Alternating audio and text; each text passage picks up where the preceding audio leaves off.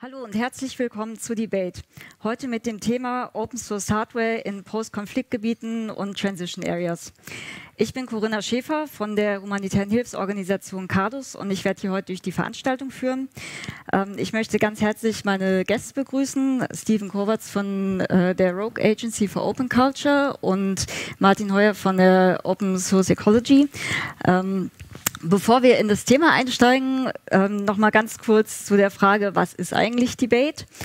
Ähm, bei CADUS ist es uns wichtig, dass wir nicht nur humanitäre Projekte durchführen, sondern uns auch ähm, mit der humanitären Praxis kritisch auseinandersetzen und diese reflektieren und uns auch neue und spannende Ansätze anschauen und vor allen Dingen über all das diskutieren. Nicht nur unter uns, sondern wir möchten mit möglichst vielen Leuten darüber sprechen. Und deswegen haben wir die Veranstaltungsreihe Debate ins Leben gerufen. Ähm, bei Debate, ähm, das haben wir ungefähr, das haben wir einmal im Monat und äh, zwar jeden ersten Donnerstag im Monat und dort laden wir ein zu einer Gesprächsrunde. Es gibt meist einen kurzen Input und danach werden wir äh, in großer Runde diskutieren. Dieses Debate ist allerdings ein bisschen anders. Äh, das ist besonders ähm, in vielerlei Hinsicht. Zunächst mal, äh, wir feiern hier unser Einjähriges, also das ist unsere zwölfte Runde Debate. Ähm, insofern ist das unser einjähriges Jubiläum. Ähm, allerdings sind noch ein paar andere Sachen anders und das ist jetzt nicht so ganz freiwillig geschehen, sondern das hat viel mit Covid-19 zu tun, denn Debate gibt es das erste Mal im Stream. Das äh, gab es vorher noch nicht. Und ähm, dass es das jetzt im Stream gibt, das haben wir dem C3 VOG zu verdanken. Ähm, also auch nochmal herzlichen Dank an das VOG. VOG ist das äh, Video Operations Center, was normalerweise beim Chaos Communication Congress das Streaming übernimmt. Ähm, und genau wie beim Kongress haben wir heute tatsächlich auch einen Signal Angel. Ihr äh, könnt den Stream finden über die Cardus Webseite, das ist cardus.org slash debate. Und ähm, auf der Webseite findet ihr dann den Link zum Streaming und sowohl auf unserer Webseite als auch im Stream direkt könnt ihr dann auch zum Chat gelangen und dort eure Fragen stellen und eure Diskussionsbeiträge und soweit möglich werden wir das dann hier mit einfließen lassen. Ähm, was auch noch anders ist, äh, wir sind diesmal nicht im Cardus Crisis Response Makerspace, sondern wir sind hier im Hack- und Makespace Xhain. Auch an den Xhain nochmal herzlichen Dank, dass wir das heute hier durchführen dürfen. So, und damit übergebe ich jetzt an Martin. Ähm, ich weiß nicht, Steve, willst du noch äh, zwei Worte zu dir sagen? Ich quatsche dann erstmal. Also der, der kleine Beitrag kommt dann gleich von mir und da ich dann eh rede, dachte ich, kannst du erstmal was zu dir sagen? Ja, vielen Dank. Ähm, erstmal vielen Dank für die Einladung und für alle, die das äh, ermöglichen. Ähm, wir versuchen auch äh, unsere Bestes, unsere Social Distancing einzuhalten. Es ist ja im, im Streamfenster auch äh, eine Herausforderung.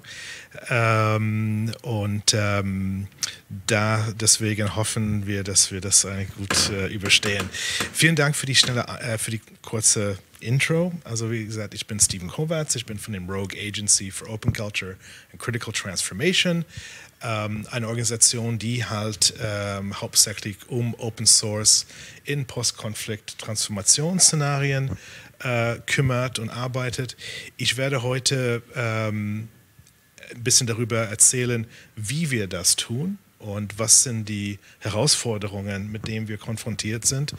Ähm, und deswegen freue ich mich auch sehr, dass ich hier mit äh, Martin äh, bin von unserer Partnerorganisation Open Source Ecology, die dann auch ähm, erstmal, glaube ich, in Slides einführen wird und dann kommt es dann zurück zu mir. Hallo Martin. Genau. Also, ähm, ich nochmal ganz kurz, Martin Heuer von Open Source Ecology Germany.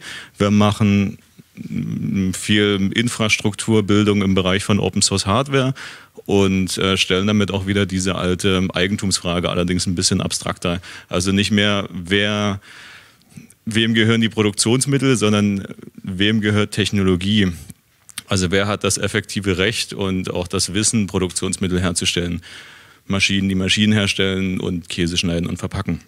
Das heißt, ähm, ich vertrete hier ein bisschen die technische Seite und ähm, ja, diesen ganzen rechtlichen Kram darunter auch und Steven dann die menschliche und auch äh, was, was ähm, das konkret in den Einsatzgebieten bedeutet. Gut, und wie schon angekündigt, gibt es dazu Slides. Dazu noch zwei, drei Worte. Ähm, wer mich nicht kennt, das müssten die meisten sein, außer halt mal hier. Ähm, ich rede selten länger als, als ähm, zehn Minuten. Das hat zwei Gründe. Einmal möchte ich ähm, das Publikum nicht eindimensional voll quatschen, sondern gerne einfach einen groben Überblick geben und dann anhand der Diskussion, die daran ähm, erwächst, den weiteren Verlauf ähm, gestalten. Also dass ihr genau das mitnehmt, was ihr letztlich auch wissen möchtet. Der zweite Punkt ist, ähm, ich habe irgendwo mal gelesen, dass eine Aufmerksamkeitsspanne des Menschen im Schnitt nicht mehr als zehn Minuten dauert oder elf. Ähm, ja, deswegen, also ohne Pause. Deswegen gibt es bei mir die Information kurz und konzentriert und dann steigen wir in die Diskussion ein. Also stellt Fragen und dann kriegen wir den Abend schon gefüllt. Wunderbar. Ich würde jetzt auf die Slides übergehen.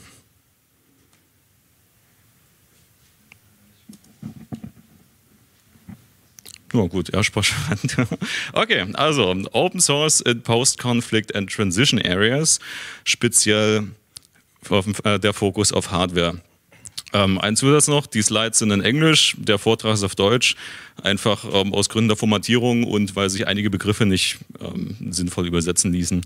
Ich werde das Ganze erklären an einem Fallbeispiel, einem Projekt, in dem ich selbst eingebunden war und auch die Rogue Agency und äh, das in einem gewissen Kontext, der da ist. Wir haben eine Post-Conflict Area, also sprich ein ein Bereich, der nach einem Konflikt oder nach, einem, ähm, nach einer Katastrophe steht. Und dort gibt es üblicherweise, wie bei sonst auf der Welt, Leute, die sehr gut ausgebildet sind und dieses äh, Fachwissen auch gerne teilen würden. Und auf der anderen Seite andere Leute, die das Wissen gerne hätten. Und damit die sich austauschen können, braucht es eine Plattform. Das sind üblicherweise Universitäten, Schulen, Ausbildungszentren etc. Ähm, nach einem Konflikt gibt es davon nicht mehr so viel und ein Staat hat gegebenenfalls auch andere Probleme, als sich jetzt um ein Universitätsnetz zu kümmern. Andererseits entsteht dadurch aber, wenn das nicht richtig gepflegt wird, auch ein enormer Flaschenhals für weitere Entwicklungen im Land. Also ohne gutes Fachpersonal geht das einfach nicht so gut voran. Gut, ich habe aber immer noch Industrienationen, die, in denen sich Organisationen, die das Problem verstehen und auch handeln können, mit Förderern zusammentun können um eben so eine Plattform zu gestalten. Also geht es um Infrastrukturausbau, nicht einfach um Produkte, sondern ähm, um Dinge, die dann ähm, breiter genutzt werden sollen. Und unsere Antwort auf diese Frage hieß ASCOTech. Ausgeschrieben Access to Skills and Knowledge Open Tech Emergency Case. Ähm, in einem Satz ein Makerspace in einem Koffer, also eine Art ähm, Werkzeugkoffer aus verschiedenen Disziplinen, mit denen sich äh, allerlei Seminare und Ausbildungen durchführen lassen. Das komplette Design ist Open Source, auch die Trainingsmaterialien und ähm, das lässt sich alles erreichen unter diesem QR-Code da auf GitHub. Im Aufriss ausgepackt sieht die Kiste so aus. Äh, man sieht eine große Varianz an, an Werkzeugen, also Mechanik, ein paar ähm, elektrotechnische Sachen in Laptop, Solarzellen, sodass man diese kleinen äh, Bauelemente auch überall in der Pampa nutzen kann. Ähm, und hier unten links in der Ecke, hier etwas größer dargestellt, einen mobilen Server, auf dem die Trainingsmaterialien liegen und mit dem man überall auf der Welt ein kleines lokales Internet simulieren kann. Also dort können sich dann äh, bis zu 20 Laptops einwählen und auf modernen Kollaborationstools wie, wie Git zum Beispiel ähm, miteinander arbeiten, sodass man die Leute direkt daran trainieren kann.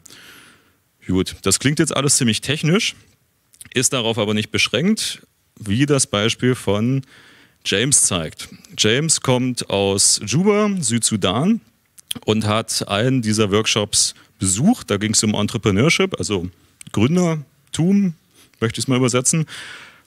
Und davon war er so begeistert, dass er danach auf den äh, Seminarleiter dazu ging und meinte, er hätte da eine Idee, er möchte Kreide produzieren. Offenbar ist das in der Region ein Riesenproblem.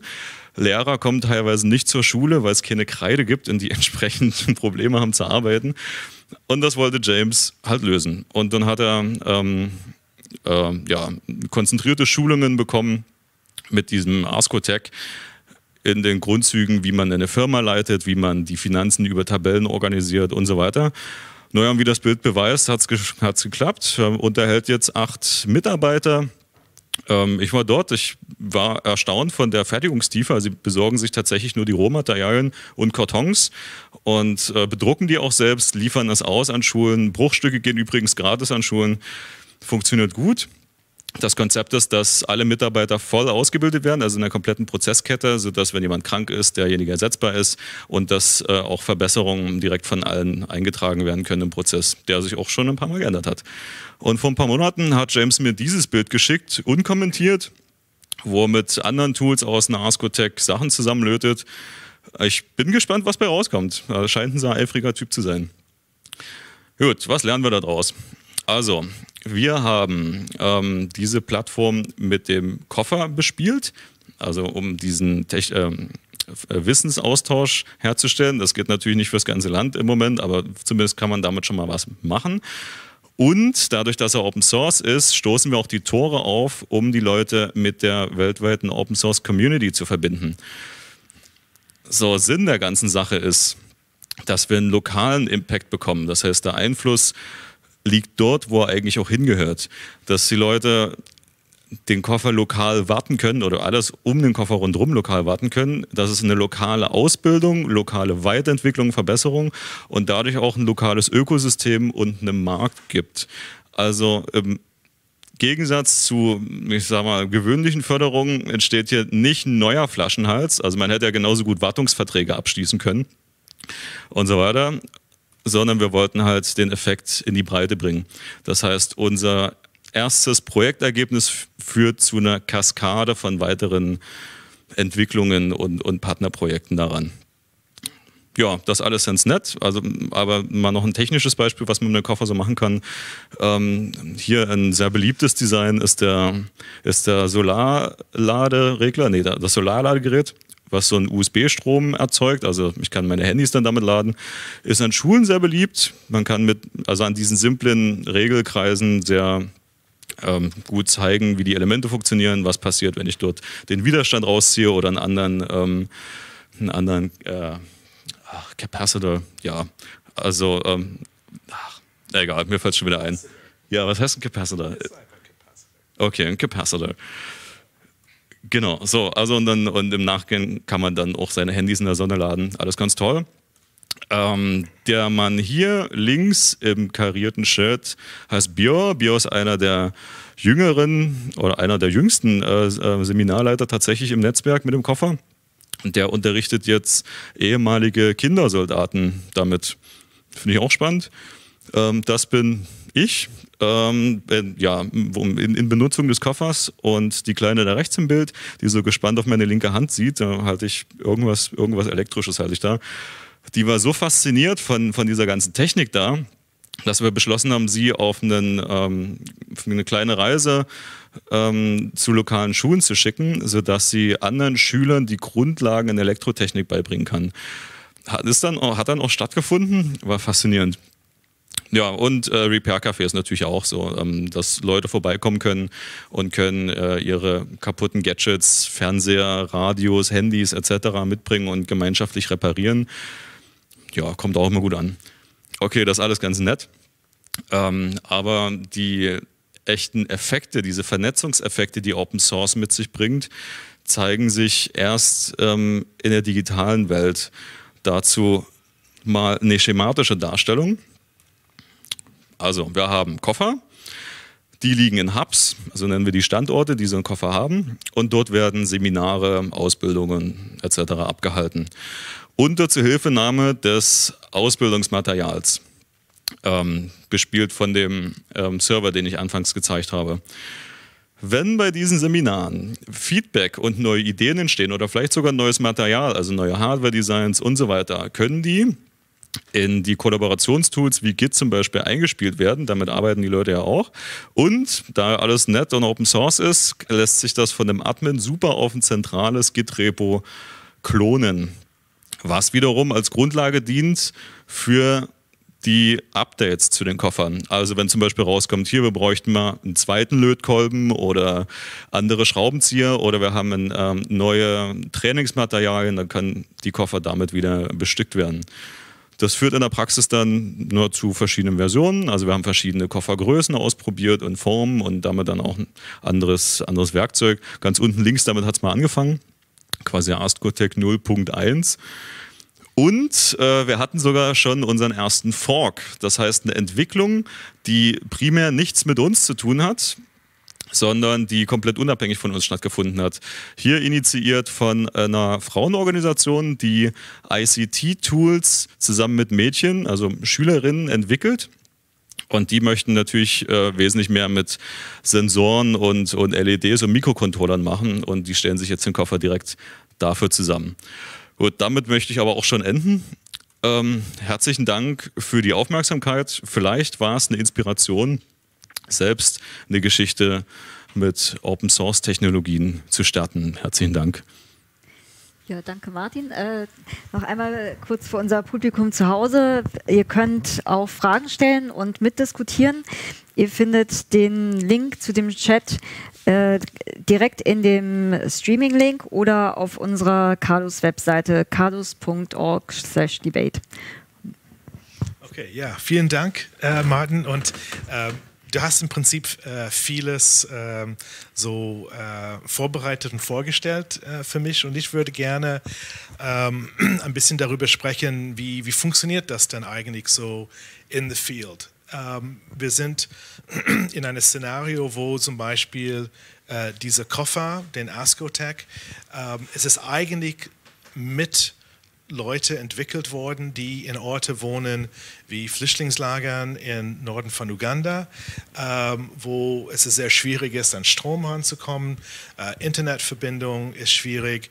Es gibt kaum Schulinfrastruktur, kaum Ausbildungsmöglichkeiten. Also es geht darum, was kann man so klein und so mobil zusammenpacken wie möglich, um denn da genau diese Workshops, die wir auch in Orte wie das hier machen können, egal wo tun können. Und für uns geht es sehr viel darum, niemals Nein zu sagen und niemals, oh, das können wir nicht machen.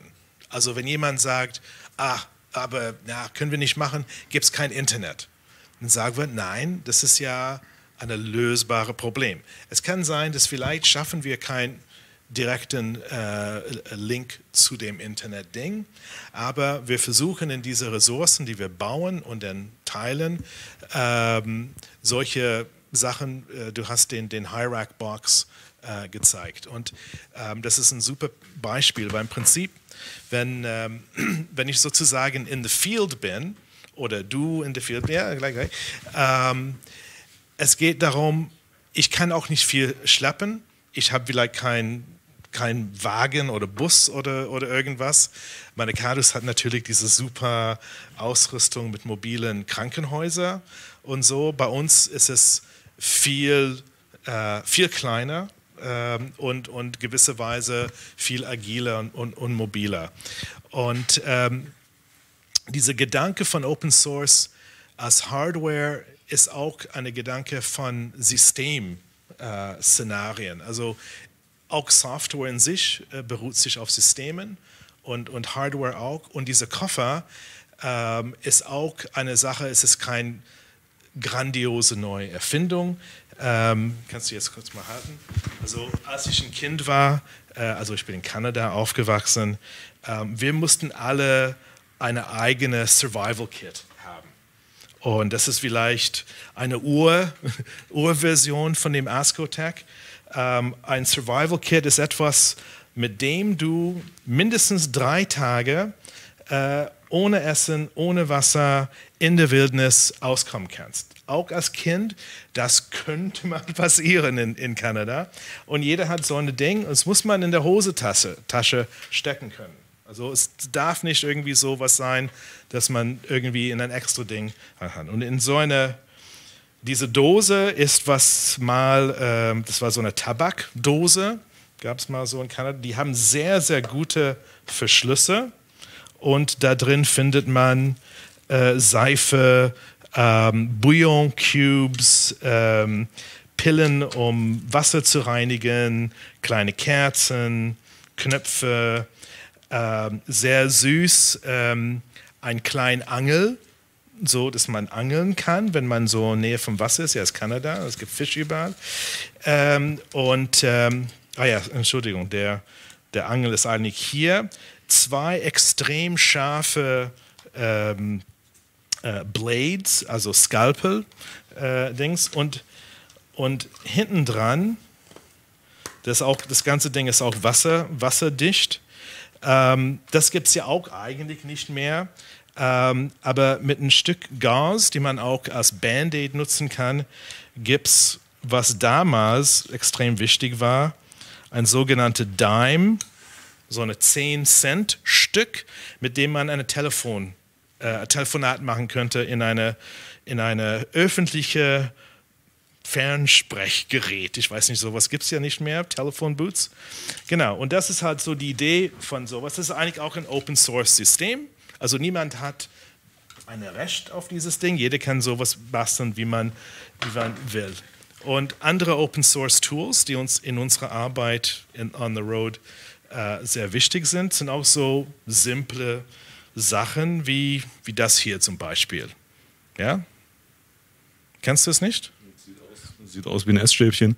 Ja, es ist ein, es ist ein Chopstick, es ist ein Essstäbchen. Und wenn du in, in Europa lebst und arbeitest irgendwo, ähm, zum Beispiel in Südsudan, die halt äh, Stromsteckern haben nach ähm, britischen Stil, hat man halt diese dritte äh, Loch. Mit dem, mit dem Essstäbchen kann man das reinführen und eine europäische Plug reintun. Ja, hatte ich auch dabei. Ist übrigens auch ein Mascotec drin. Genau, musste auch sein, weil das ist halt einfach, es ist viel billiger, viel einfacher, als so eine Power Adapter zu kaufen, ähm, die dann auch kaputt geht nach einer Weile. So. Ähm, und ähm, wenn wir machen so, ähm, wir machen viel Trainings auch zur, ähm, was ist das Internet auch. Ja? Ähm, und das muss man auch tun können, wenn man offline ist.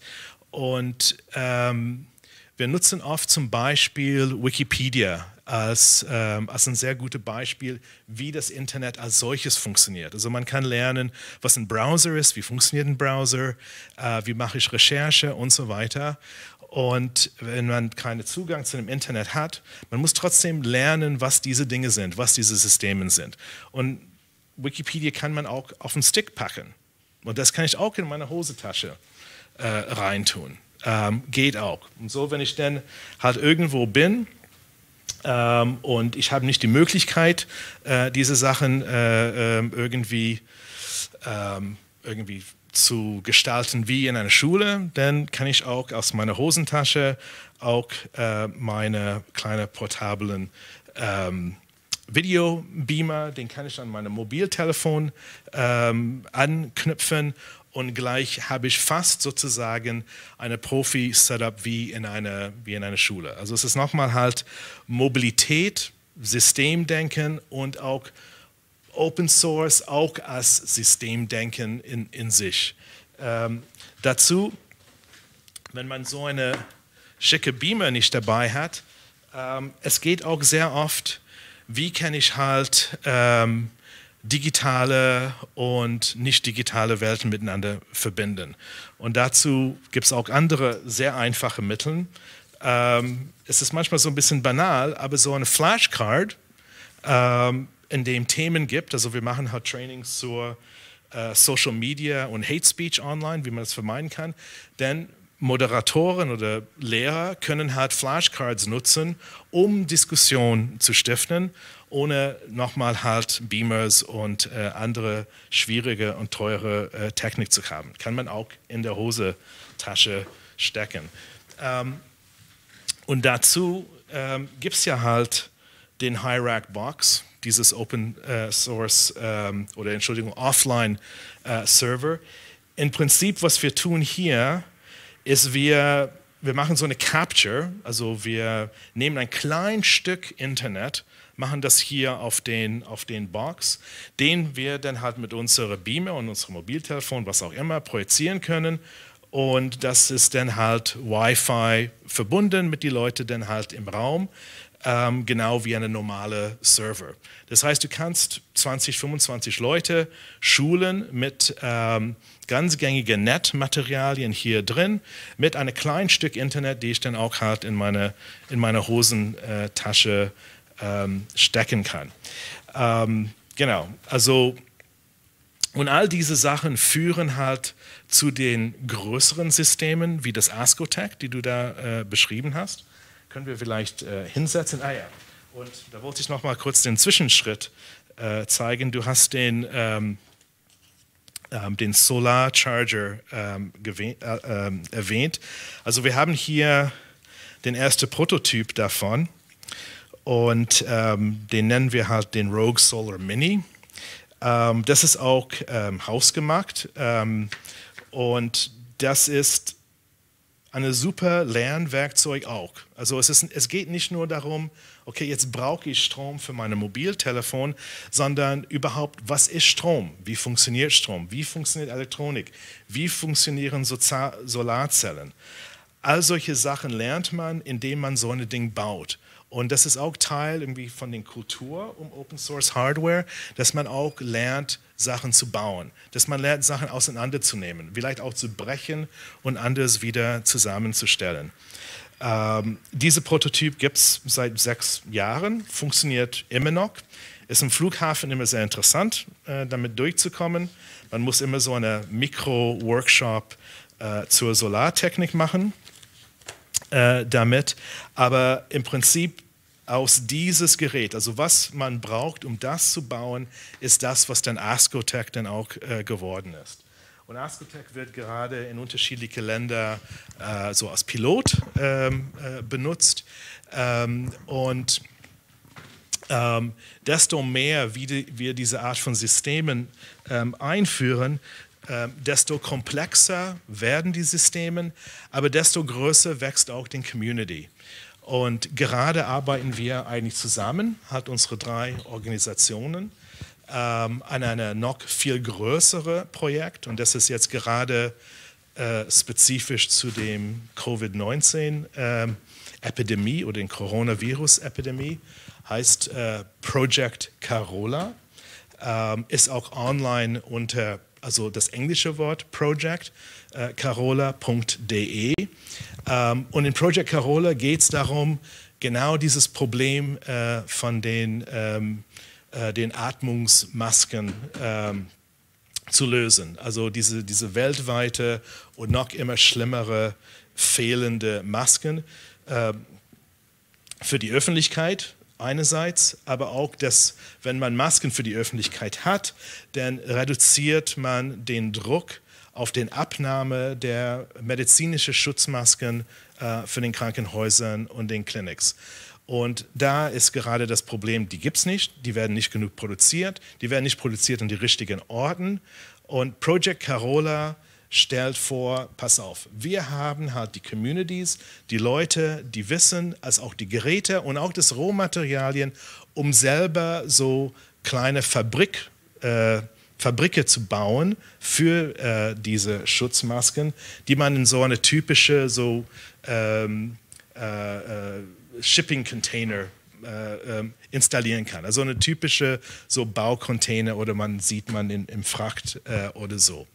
Ähm, also das ist ein echtes Projekt, wo gerade sehr viele Leute zusammenkommen, um extrem viel solche Masken zu produzieren an die Orten, wo die halt notwendig sind.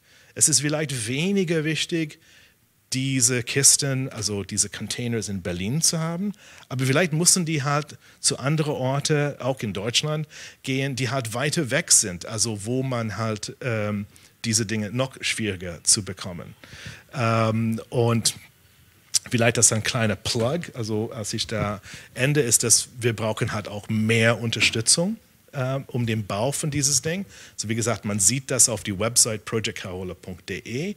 Ähm, es ist auch notwendig, Geld für sowas zu haben. Ich meine, Geld ist ja da, es ist halt die Masken, die nicht da sind. Also wenn man Geld hat, könnt ihr dann in sowas äh, nutzvoll investieren sozusagen. Ähm, es gibt auch technische Know-how, die auch noch notwendig dafür ist. Vor allem zum Beispiel jemand, die eine Ultraschall-Schweißgerät nutzen kann, wird äh, gesucht. Ähm, und auch Leute, die sozusagen den Wissen ha haben, unterschiedliche Maschinen und Geräten zusammenzubauen, so dass die transportabel sind, um in so einen Shipping-Container unterzubringen sind. Es ist wiederum relativ einfach, die ganzen Sachen zusammenzustellen und so eine Fabrik zu bauen in einen normalen Raum oder in eine normale Fabrik. Aber wenn man das alles mobil machen will, da braucht man halt noch mehr spezialisierte Skills dafür. Und sowas wäre super, wenn irgendjemand, die auch den Stream guckt oder ihre Freunde, ihre, ihre Kollegen, ähm, Ingenieure oder anderen äh, so ein Projekt unterstützen könnt. Also das wäre erstmal von meiner Seite. Vielen Dank euch beiden. Super. Ähm, ja, wir haben jetzt äh, ganz viel gehört zu ähm, Open Source Hardware ähm, Initiativen, die ähm, äh, zumindest die Organisationen, äh, die es initiiert haben, die sind jetzt ähm, erstmal eher, ähm, haben sich zumindest in Deutschland gegründet. Ähm, aber ihr habt ja ganz viel zu tun, arbeitet ganz viel zusammen mit lokalen Initiativen, die wiederum auch eigene Programme entwickeln, lokal. Und äh, vielleicht könnt ihr da nochmal ein, zwei von den Initiativen kurz vorstellen? Ähm ich glaube, das ist für dich wieder ein Stichwort. Okay. Ähm, also ich will nicht den, wie sind wir mit Selbst? Okay. Wir haben noch. Ähm, ja, ähm, das stimmt. Wir wollten auch über ein paar äh, erste Fallbeispiele sprechen. Ähm, Martin, du hast erwähnt, ähm, dieser Typ Bior in Südsudan, der mit Kindersoldaten arbeitet.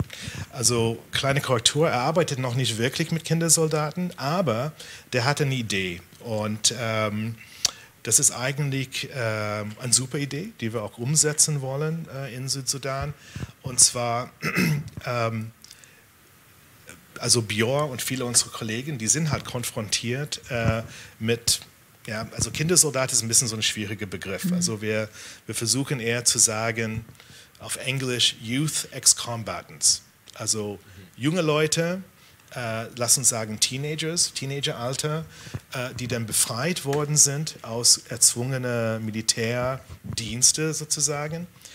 Ähm, das Interessante von vielen von diesen Jugendlichen ist, dass die haben bestimmte ähm, äh, Skills gelernt, als die in diese sogenannte Kindersoldat-Tätigkeit waren. Ähm, viele können zum Beispiel ähm, ein Maschinengewehr ähm, auseinandernehmen, reinigen, wieder zusammenstellen und nutzen mit den Augen gebunden. Ähm, das ist eigentlich eine interessante handwerkliche Skill, die man hat. Und eine von den Fragen, die Björn stellt, ist, könnten wir nicht also diese, diese Skill, die man hat, äh, was irgendwie ein sehr besonderer ist, konvertieren in was anderes, was Nutzvolleres. Zum Beispiel in Richtung Entrepreneurship, wie der junge Mann mit, dem, mit der Kreide. Oder um lernen, wie man lötet. Äh, oder Fahrräder zu reparieren. Ja? Man muss nicht immer unbedingt von Null anfangen. Also äh, vieles mit dem, was wir konfrontiert sind und was unsere Hub-Leute tun, ist zu, ähm, ist zu etablieren und sehen, was sind die Skills, die informelle Skills, die man schon hat, ähm, äh, mit denen man halt einfach mehr machen kann. Also es ist ein ständiger so Upcycling-Prozess. Äh, ähm, wir arbeiten gerade in, in Kamerun äh, zum Beispiel, da ist halt ähm, ein immer größer äh, äh, werdender Krieg ähm, in, ähm, in, eine, in eine bestimmte Region äh, von, von Kamerun. Und da haben wir so eine Situation, wo wieder zurück zu dem Social Media Arbeit, die wir tun, wo Social Media dann halt benutzt wird, ähm, um dieses Krieg dort anzuheizen. Also es gibt, äh, was wir Conflict Agents nennen, die das wirklich äh, so pushen und, und, und, und drücken. Wir kennen das schon mittlerweile in Deutschland, also wie Hassrede online äh, funktioniert, äh, wie das denn aus, ausgenutzt wird für politische und, und andere äh, Zwecke. Aber in einem Krieg ist das wirklich eine Waffe. Und jetzt in die letzten Wochen haben wir das neue Problem mit der Pandemie, die dazugekommen ist, mhm. wo nicht nur das Pandemie in sich ein Problem ist, sondern diese, diese Menschen, die diese Medien äh, nutzen und ausnutzen, um weiter ihre politische Zwecke zu erfüllen durch Krieg, jetzt auch diese Pandemie nutzen können, äh, um weiter da äh, Szenarien äh, aufzubauen, äh, die dann den Konflikt noch schlimmer macht. So die, die Leute, mit denen wir da zu tun haben, ähm, die schauen jetzt gerade, also wie können wir halt Fact-Checking und ähm, äh, Desinformationskampagnen umkehren, die gerade um die Pandemie gehen, während man gleichzeitig Menschen über die Pandemie und den Schutzmaßnahmen informiert. Mhm. Also es wird alles irgendwie Stück für Stück komplexer und, und komplizierter. Ähm, und da ist auch gerade diese Notwendigkeit, ähm, ähm, praktische Skills zu lernen, auch sehr wichtig. Ähm, weil gerade wenn Leute aus Konflikt kommen, äh, müssen die auch irgendwas zu tun haben. Und äh, nicht jeder kann ein Bauer oder will ein Bauer sein. Das ist so der, der übliche äh, Prozess für Reintegration äh, von, ähm, von früheren Soldaten und Combatants ist, ähm, auf die Felder zu schicken. Aber wie gesagt, viele Leute haben diese, diese technische Fähigkeiten und wenn man diese Sachen äh, besser verstehen kann, besser und schneller, ähm, wie sagt man das auf Deutsch, ähm, besser erkennen äh, kann, ähm, dann hat man viel größere Chance, um den Community wieder neu aufzubauen. Und dafür ist gerade äh, dieses Open Source und Open Hardware Welt extrem wichtig. Ähm, und ähm, ja, es, es kann ja halt funktionieren.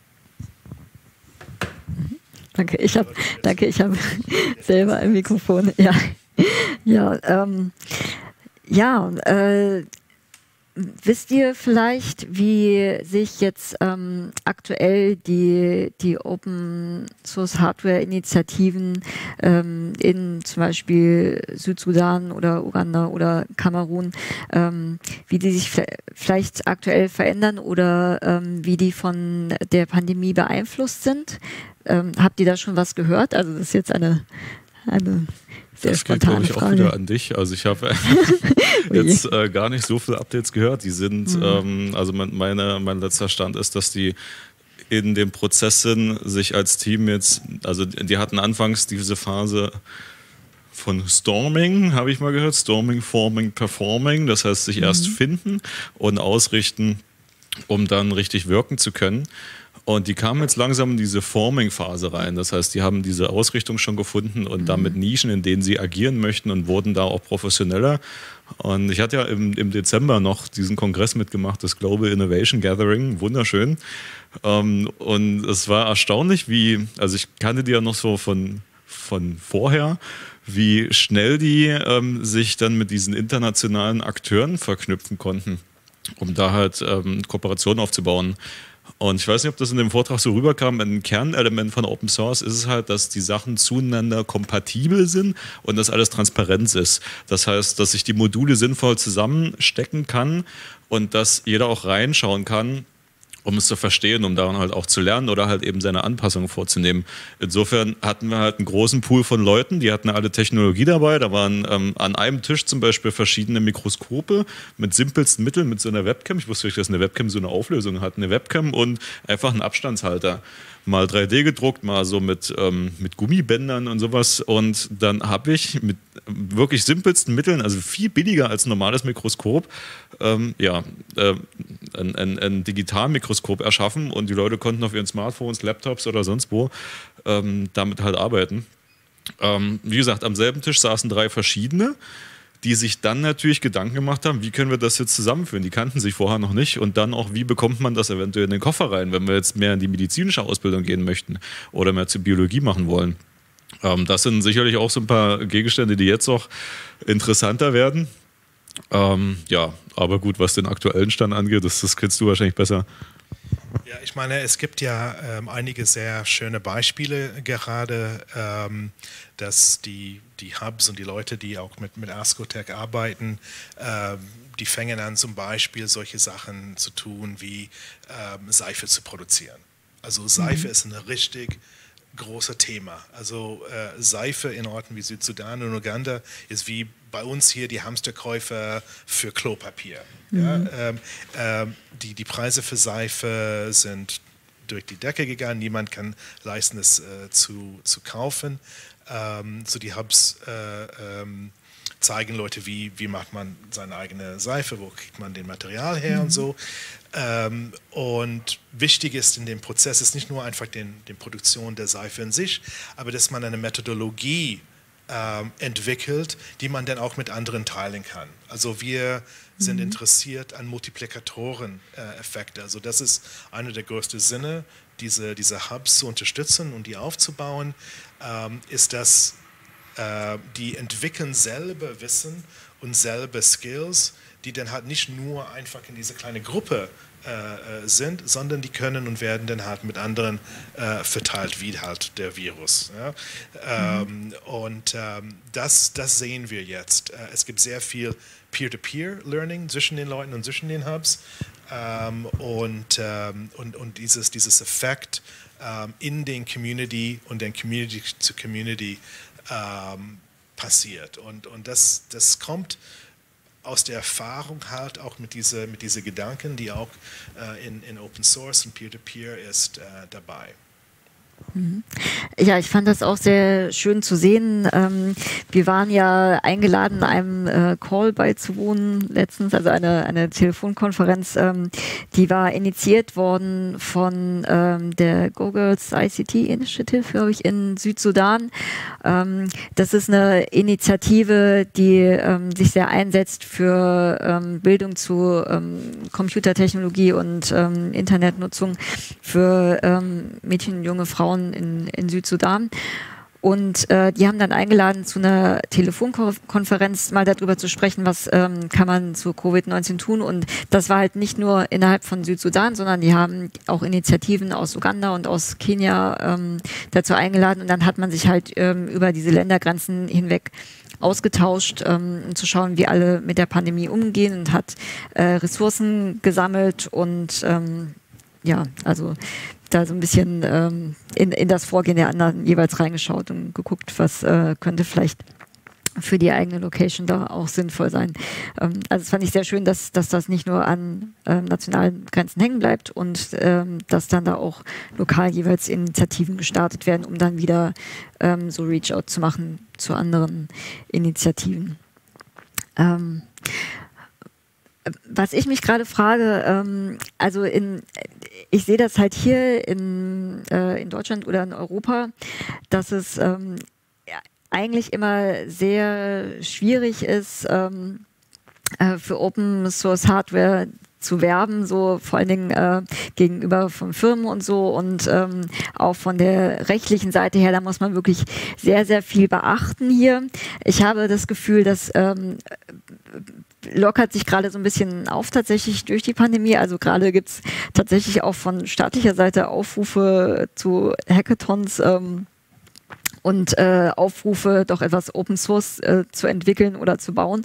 Also das ähm, finde ich wirklich ganz überraschend. Ähm, und könnt ihr sagen, ob ähm, diese, diese Widerstände gegen die Open Source hier ähm, zumindest bis vor kurzem noch sehr stark arbeiten musste, ob es so gleiche oder ähnliche Widerstände auch ähm, auf dem afrikanischen Kontinent in den Initiativen gibt oder ob da eher so ganz andere Hürden im Weg sind. Ähm, also nicht so sehr rechtlich, sondern vielleicht ganz basic, wo, wo kommt das Funding überhaupt her für so eine Initiative? Eine interessante Frage. Ähm, ich möchte vorher nochmal ähm, korrigieren. Also Widerstand habe ich tatsächlich gar nicht so bekommen. Ah, okay, na gut. Was interessant war, also es war ähm, für mich früher, glaube ich, also schwierig zu erklären, warum, das, warum man das macht. Äh, was ich auch eine komische Frage finde, weil eigentlich ist es ja in der menschlichen Natur, Sachen zu teilen, ähm, gerade Wissen, weil unser ganzes Bildungssystem würde ja nicht funktionieren, wenn, wenn das Wissen nicht da wäre. Also es muss natürlich freigeteilt werden. Und ab einer bestimmten Grenze, nämlich das, was wir halt aktuell als Produkt verkaufen wollen, muss man dann halt ähm, Patente bezahlen oder das alles schließen. Ähm, da möchte ich noch einen kleinen Einschub machen, den hätte ich sonst zum Schluss ge äh, gebracht. Ich kann es nicht oft genug sagen. Wenn ich Material habe, herstelle, dann ist es nicht per se frei und jeder kann es nutzen. Es ist standardmäßig geschlossen. Das heißt, damit ich es anderen zur Verfügung stellen kann, muss ich eine Lizenz draufgeben. Und das, mhm. also sonst ist es faktisch nicht benutzbar. Der Standard ist immer geschlossen, deswegen muss ich diese Lizenz draufbringen. Das einfach nochmal als, als Einschub. Ja, ähm, dann haben wir hier ja eine sehr, also ziemlich alte Infrastruktur verglichen mit, dem, äh, mit, mit vielen anderen Ländern. Ähm, dadurch auch sehr fein ausdekliniert. Und wenn ich hier so eine Sachen wie Open Source Hardware mache, dann äh, muss ich immer die Schnittstelle zum System sauber halten. Das heißt, muss viel mehr Regularien beachten, diese ganzen Rechtsfragen. Dann ist auch immer, wer gibt mir Geld, warum, für was? Und ähm, warum sollte ich das machen? Das also die Leute dafür zu motivieren, ist manchmal nicht, nicht, nicht so ganz einfach. Und nach meiner Erfahrung in den Projekten mit der Rogue Agency in Afrika war das äh, überhaupt kein Problem. Also da gehörte das so zur Natürlichkeit dazu. Also ich bekomme Wissen umsonst, na klar gebe ich das umsonst weiter. Und wie kann ich mitmachen? Das, das hat immer gut funktioniert. Ähm, was die ganzen Rechtsgeschichten dort angeht, da bin ich äh, bisher immer fein raus gewesen, weil ich mich nur um die Entwicklung gekümmert habe und ein bisschen Kommunikation. Äh, ja, ich glaube, Bürokratie ist ein Punkt, aber gut, das, das ja, erzähl du mal.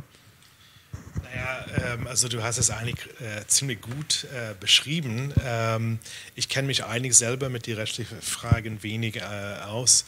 Äh, nur hat uns einer unserer Partner mal gesagt, hey, hier ist ja alles Open Source. Ja, also es gibt natürlich, äh, wenn man weiter weg ist von ähm, äh, rechtlichen äh, äh Problemen oder Szenarien, äh, achtet man auch auf die rechtlichen und Schutzfragen auch äh, weniger.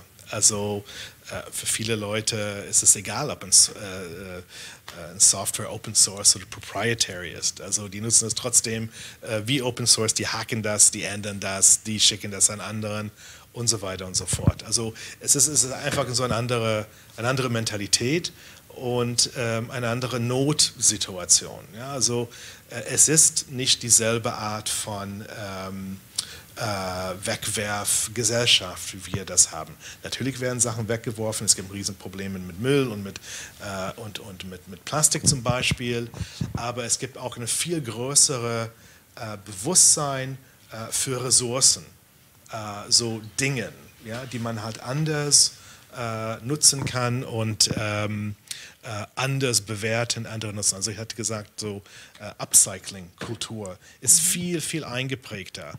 So dass eine, ein Repair-Café ist nicht nur eine Selbst, äh, Selbstverständlichkeit, sondern es ist ein notwendiger Teil von einer Infrastruktur. Und ähm, das sind Sachen, die der größere, was weiß ich, Entwicklungsindustrie äh, nicht so gerne sieht. Ja, weil die mhm. Entwicklungsindustrie will auch Geld verdienen. Also die wollen halt irgendwie lieber irgendwie, was weiß ich, billige Produkte reinbringen, die man so kaufen kann, als die Möglichkeit geben, dass Leute die Sachen, die die schon haben, zu reparieren und besser und länger zu benutzen haben. Das ist ein ähnliches Problem, die wir hier haben, aber wir haben den Luxus, wo es halt weniger lebenswichtig ist. Und das ist da in diese Communities, wo wir arbeiten, ähm, einfach äh, Teil der all alltägliche äh, Überlebenskampf. Da möchte ich nochmal ähm, nachhaken. Also ja, stimmt. Also bei uns ist, ist dadurch, dass alles da ist, haben wir diese ganzen Probleme nicht. Da ist Open Source ähm, eher für, für Umwelt und für die Vernetzung und für Gleichberechtigung ist es gut und nett, aber dort kann es tatsächlich einfach auch äh, strukturverändernd sein oder lebensnotwendig. Andererseits ist dadurch die Arbeit auch ein bisschen einfacher. Also das Beispiel von James war da ganz gut dafür. Wenn James das hier probiert hätte, also mit seiner Kreide, müsste der sich hier erstmal durchsetzen gegen die ganzen anderen Kreideproduzenten, die riesige Maschinenhallen haben, die 24-7 Kreide produzieren und, und äh, verschiffen Das muss er dann nicht. Da kann er einfach sagen, gut, ich mache das jetzt einfach, ich bringe das den Leuten bei, ich mache halt ein soziales Unternehmen und so weiter und dann macht er das einfach. Und dadurch kann man in dem Bereich ähm, diese Pilotprojekte halt einfach starten und damit auch, ich hoffe, die sich daraus entwickelnde Infrastruktur mitgestalten. Gut. Und ähm, leider ist sehr oft das Problem ein politischer. Ähm, solche Initiativen, auch von einheimischen Leuten, werden auch nicht unterstützt. Also es gibt keine wirkliche Wertschätzung äh, in der dortigen Politik für sowas. Also es wird sehr oft einfach die eigene Bevölkerung ignoriert äh, ist ja egal, da kommen die Hilfsorganisationen sowieso, da kommt die UNO, da kommt CADIS vorbei, da kommt Open Source Ecology vorbei, wer auch immer, die machen das. Ja? Also das entlastet die Regierungen auch von, von Handeln und die eigene Innovation zu unterstützen. Ähm, das ist ein sehr schwieriger Punkt und wir versuchen auch ein bisschen so dagegen zu wehren und dagegen äh, zu kämpfen oder äh, zu helfen, also zu zeigen, die Leute, mit dem wir arbeiten, wie können die sich dagegen wehren? Also wie können, sich wirklich, wie können sie sich wirklich unabhängig machen in solche Systemen, die mhm. Unabhängigkeit nicht besonders fördern? Ja, und da ist nochmal halt die Kreide eine sehr gute Beispiel dafür. Also da sollten halt Millionen von solchen Kreideproduzenten sind. Ich meine, es ist absurd, äh, dass es nicht möglich ist, Kreide für die Lehrkräfte zu haben. Ja, ähm, aber es ist, weil die Regierung ist einfach in sowas nicht wirklich interessiert. Und das ist sehr schade. Mhm. Ja. Ja, um äh, vielleicht auch nochmal einen äh, Blick hier auf die Situation zu werfen. Ähm, also hier sind wir normalerweise doch gewohnt, dass ähm, Probleme sich meistens eben irgendwie mit äh, äh, mit Geld lösen lassen oder ähm, mit einer Weiterentwicklung in der Industrie. Und ähm, wir sind jetzt hier auch gerade am Punkt, wo wir so eine eigene Erfahrung haben, äh, aufgrund der Pandemie, dass sich halt eben doch nicht alles mit Geld plötzlich lösen lässt. Ne? Und ähm, dass da wieder doch auch sehr viel Eigeninitiative äh, gefragt ist. Und ähm, wir sind hier jetzt halt auch im, im X-Ein, in dem Hack und Make Space und wenn wir hier sitzen, ähm, rotieren oder laufen heiß, wenn ich hoffe, sie laufen nicht heiß, aber arbeiten schwer äh, 3D-Drucker da hinten im Nebenraum und ähm, stellen nämlich Face Shields her. Die ähm, werden dann kostenlos abgegeben für ähm, medizinisches Personal und für gefährdete Personengruppen. Ähm, ja, vielleicht, ja, das, naja, das, na, aber das Ding ist, ähm, die sind, äh, die sind wirklich sehr, sehr begehrt und äh, da gibt es eine lange Vorbestellungsliste. Also es brauchen gerade wirklich äh, sehr viele Leute. Also wenn, ähm, ja, auch ans Publikum, wenn ihr das nochmal nachschauen wollt, ähm, schaut mal auf die Webseite vom Xhain äh, Make und Hackspace, da ist das noch ein bisschen beschrieben, das Projekt. Ähm, aber also die, die Pandemie fördert da ähm, gerade ähm, tatsächlich solche ja, Eigeninitiative auch, die wird plötzlich gebraucht und man kann so auf ähm, gewohnte Lösungsmuster vielleicht nicht mehr so zurückgreifen. Ähm, gleichzeitig äh, hinkt bei uns halt auch immer noch so, so ein bisschen die Politik manchmal hinterher oder auch die Rechtsprechung, dass man hier halt auch immer noch in so einer Situation immer noch aufpassen muss, ähm, dass man dann für so eine Initiative nicht verklagt wird. Ne? Also da äh, gab es ähm, dann jetzt auch schon wieder ein bisschen Verwarnungen äh, an diverse Initiativen und das meinte ich vorhin halt auch mit, mit Widerstand. Ne? Also man, man muss hier äh, schon immer noch ein bisschen bisschen aufpassen, äh, teilweise mit der Open Source Hardware. Ähm, ja, ähm,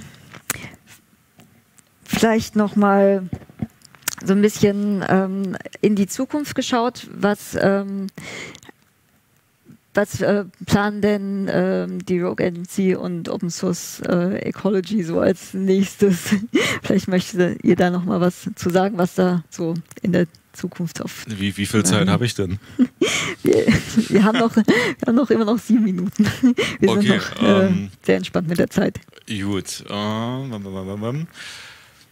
also mit Blick auf die aktuelle Situation ähm, zeigt ja auch, also wir haben in der Vergangenheit den Ansatz gefahren, es gibt wenige große Produzenten oder Leute, die halt äh, die, die Grundversorgung für die Gesellschaft stellen Und aktuell geht das immer ein bisschen weiter in die Breite. Das heißt, auch die Entscheidungsfindung und die, die Lösungsfindung von gesellschaftlichen Problemen geht halt mehr in die Breite. Und dass das funktioniert, ist hauptsächlich so der modernen Technologie geschaffen, dieser Vernetzung.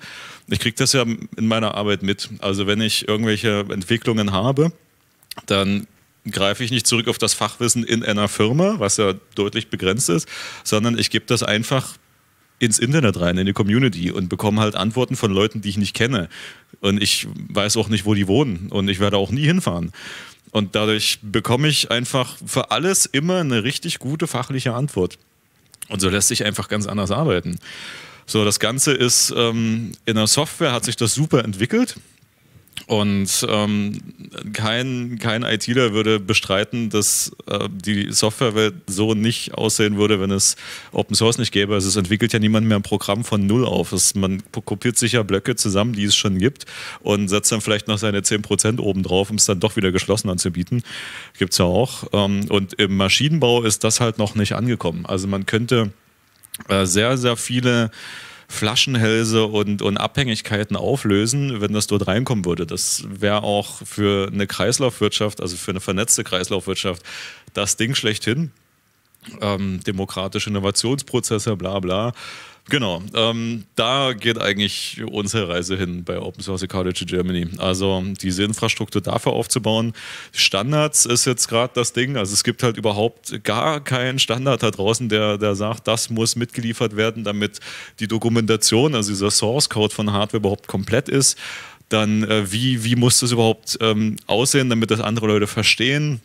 Was gibt es so für rechtliche Fragen? Das versuchen wir jetzt alles äh, mit einmal zu klären, auch Geschäftsmodelle um dann ähm, eine wunderschöne Graphendatenbank aufzubauen. Ich hoffe, ich wäre nicht zu technisch, wo man die Module, die da draußen sind, miteinander verknüpfen kann. Also es ist ja ähm, ein Ding, dass ich irgendein Design offen teile, aber wenn es nicht gefunden wird, dann äh, muss ich das Rad doch wieder neu erfinden. Und äh, so eine Graphendatenbank kann man dann natürlich auch ganz andere Fragen stellen. Und ich glaube, dann gehen wir einen guten Schritt in die Richtung gemeinschaftliche technologische Entwicklung und auch dezentrale Produktion, umweltverträgliche Maschinen und so weiter. Ähm, wenn, wenn die Kugel einmal läuft, ich glaube, die kann man auch gar nicht mehr so einfach aufhalten. Ich merke auch, dass jetzt viel mehr Energie in der Szene ist, dass egal wo neue Projekte anfangen, dass die laufen. Und dass die auch immer mehr internationale und institutionelle Aufmerksamkeit bekommen. Gut, ich quatsch schon wieder zu lang, aber genau, Steve, was willst du äh, erreichen? Naja, ähm, ich würde gerne äh, unsere Ziele erreichen. Und das ist wirklich ähm, richtige, sustainable, also nachhaltige äh, Friedensstiftung ähm, durch bessere Medienverständnis ähm, und Nutzung, die dann halt überkreuzt mit ähm, Skills, also Fähigkeiten ähm, zu, zu arbeiten, zu bauen, unabhängig zu sein ähm, und dann halt diese Wissen dann halt äh, weiter zu verteilen. Ja? Also das ist wirklich wichtige Grassroots-Arbeit, ähm, ähm, die äh, geleistet werden muss und, und kann. Und gerade durch die, äh, diese Situation der Pandemie äh, müssen wir selber auch ähm, neue Wege, neue Strukturen ausdenken. Also wie kommen wir an die Leute? Wie können wir denn halt diese Arbeit besser und einfacher auch machen ähm, vor Ort, wenn wir nicht direkt vor Ort sind? Ähm, und ähm, ich würde sehr gerne sehen, dass diese, ähm, was vor kurzem aufgestellt worden ist, Project Carola, dann auch realisierbar wird. Also ich mhm. will diese Container auch mal in Kamerun, in Uganda, in Südsudan äh, sehen, ähm, auch in Italien. Also die sind äh, notwendig und ähm, wir müssen halt ähm, gerade unsere Erfahrungen und unsere Fähigkeiten zusammentun, äh, um äh, genau ähm, diese wirklich lebensrettende Maßnahmen ähm, in die Wege zu leiten. Ähm, wir sind sehr, sehr, glaube ich, am Anfang von einem Szenario, die wirklich der, der, der Welt verändern wird. Und ähm, in diese Welt nach der Pandemie, ich glaube, dass Open Source und die Open Source Gedanke ähm, auch in seiner praktischen, strukturellen Form viel, viel wichtiger sein wird. Äh, also wir erleben das schon. Wo du gerade Welt verändern sagst, ähm, ja, absolut, deswegen mache ich das auch, sonst wären wir da, ähm, also es ist schon echt anstrengend, aber es ist auch wunderbar erfüllende Arbeit. Und den Satz hat mir ähm, noch vor zwei Jahren niemand abgekauft, aber jetzt merke ich, wie, also wohin meinte ich institutionelle Aufmerksamkeit, wie sich die alte Welt mit ihren ähm, wichtigen Entscheidungsträgern jetzt langsam dafür interessiert.